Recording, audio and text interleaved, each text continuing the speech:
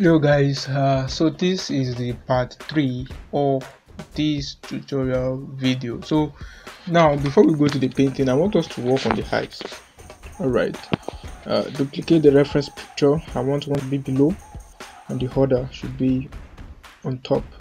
Okay so i'm going to use this to make the detail. Right. I'll choose maybe the tool i'm using to sketch and then I'm going to use my guides.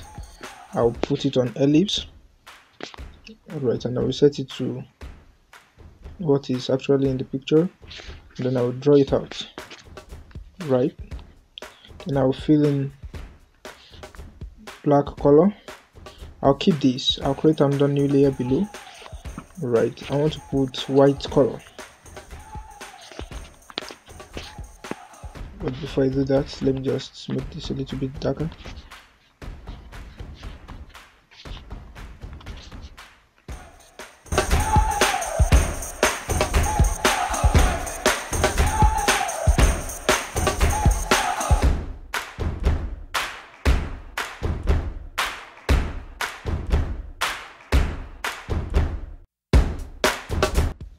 Then I'll just label this and then duplicate it. I labeled it because it is white color so i will be able to know that there's something actually on the layer. All right so i'll fill the one i duplicate the one on top. I'll fill it with black color. I'll make sure it is properly you know uh, fixed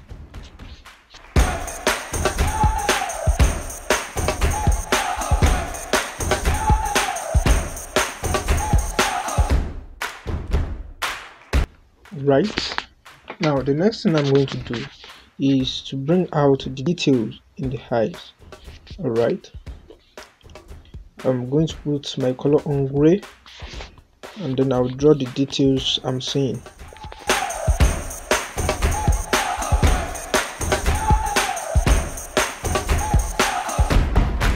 Right well before i continue with that let's make the high um, cool. Okay. I will erase the part I don't need on this.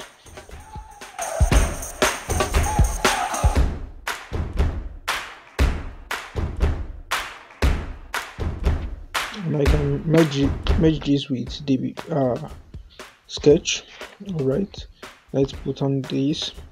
Now on the black color I'm going to use soft eraser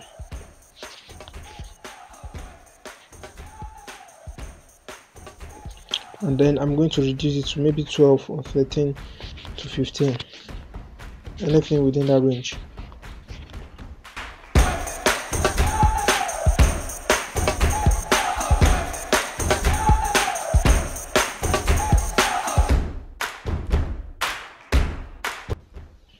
Okay can you see this? Now let's leave it for now. And then let me go to the details I put here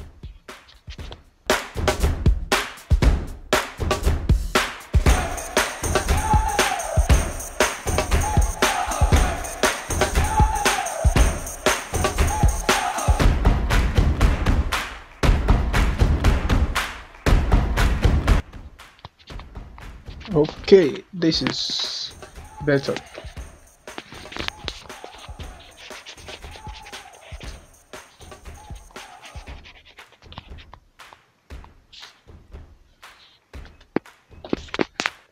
All right now i'm going to color. All right so um i'll create another new layer and then I'll try to fill this uh, you know yellow color into the earring. The color will be nice there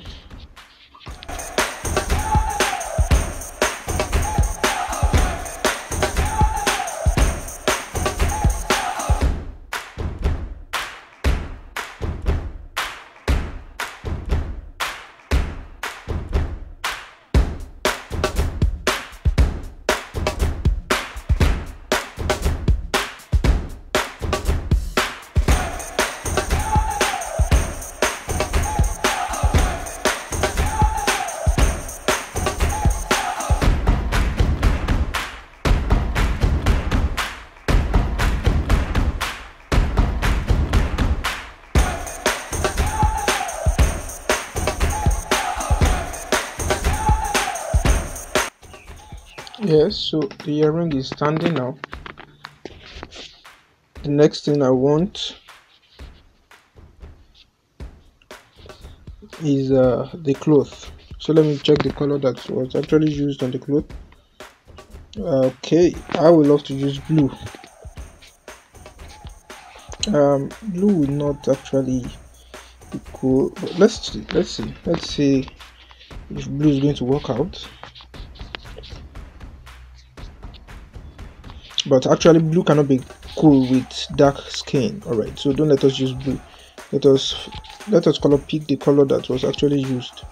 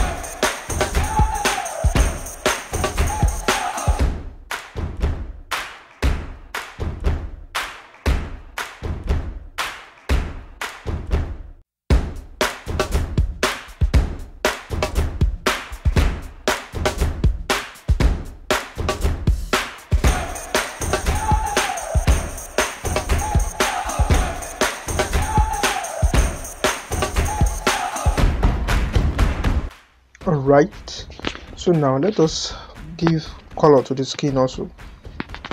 But before we do that i would love to select the colors we have picked and uh, used before so that uh, my skin color will not showcase on there okay? Now i will choose the magic wand all right so that it can work out. And also i'm going to choose um, the clothes color you can check my youtube videos for selection tool and how to use it. I've made tutorials on that. All right so i'm going to invert and then i have one favorite color i love to use which is this. Any other colors also can be used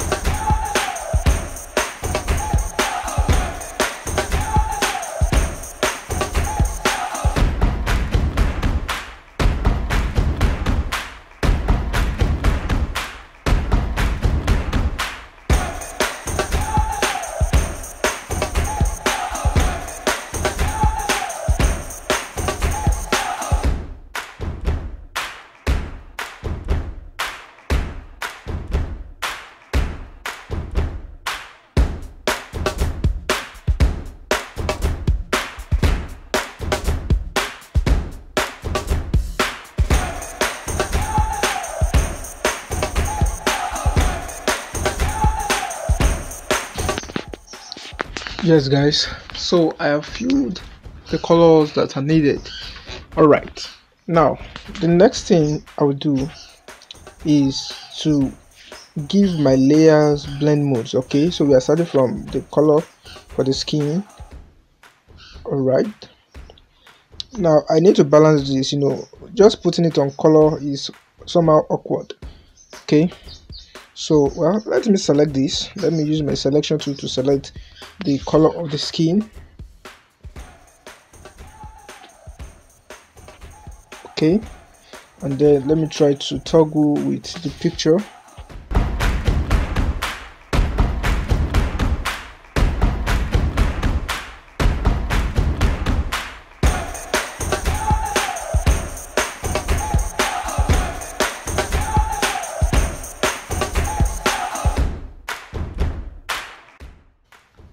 now I would like to start smudging okay?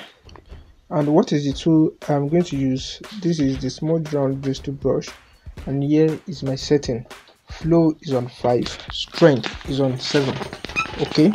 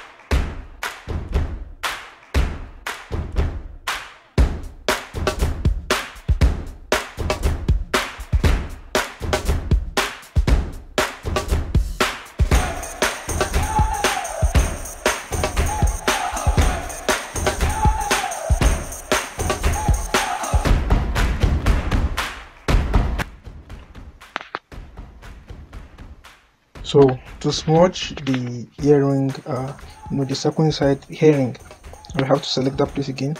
Also and then i will smudge it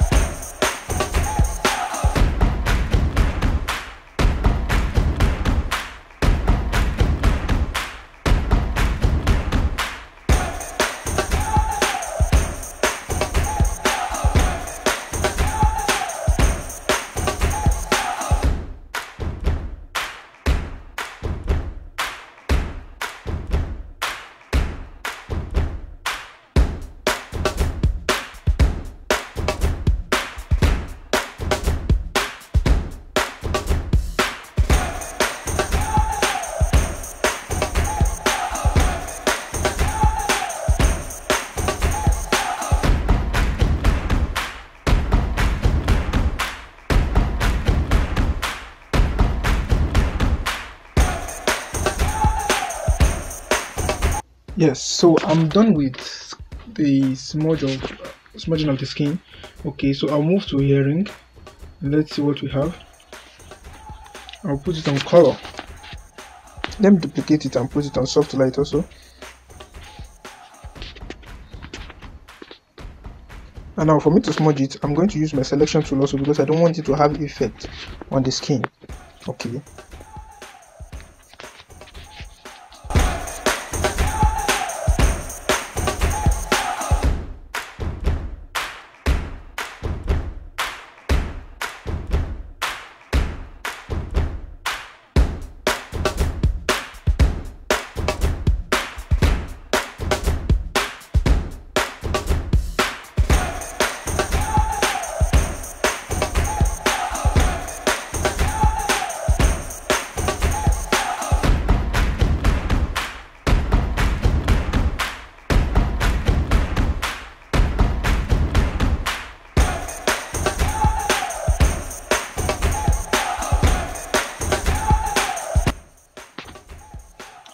I want to smudge the cloth also. I'm still going to use the selection tool to select the color for the cloth. Alright so that it's just like isolates alright if you're the type that use maybe After Effects or uh, even Photoshop or Adobe Illustrator. There's something we call isolate. So this is what that is the function of that on sketchbook that is what we are using this selection tool to do so that if we isolate just that area but the only reason why it cannot be called isolate is because it's still showing other parts. All right apart from that it's isolating only the area selected that is any effects will only take place on the areas selected. Okay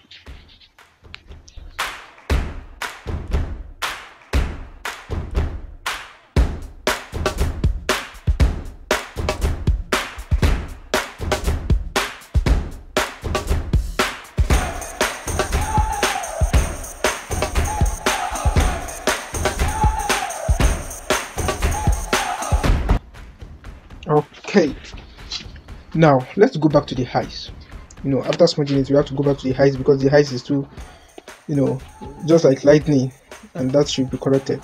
All right so i'll color pick the lighter part of this picture and then i will lighten it up a little so that something can be in the highs and then it will not be so bright like that. Let's see the reference picture and let's see how bright it is. Okay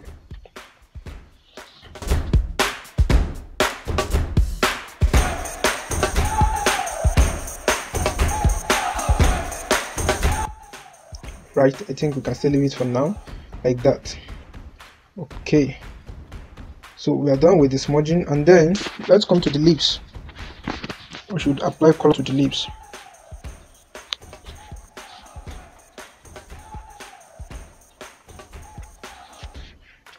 I love to use uh, lipstick red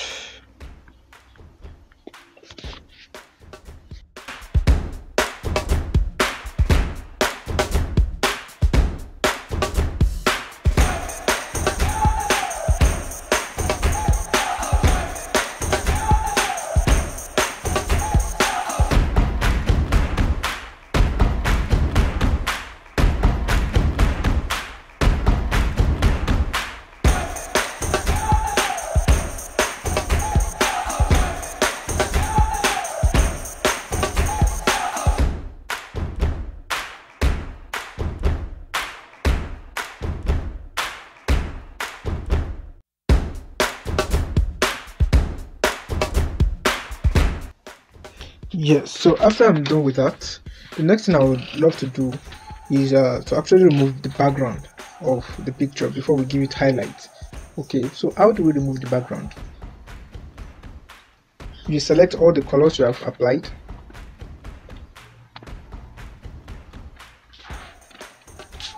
Okay let me select the one for the clothes also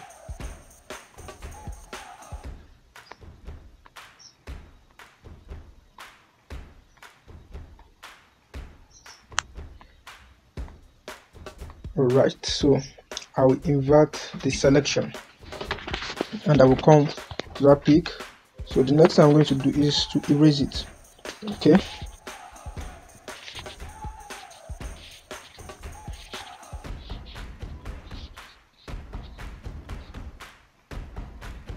Let me change the background color so that I can see how it is erasing it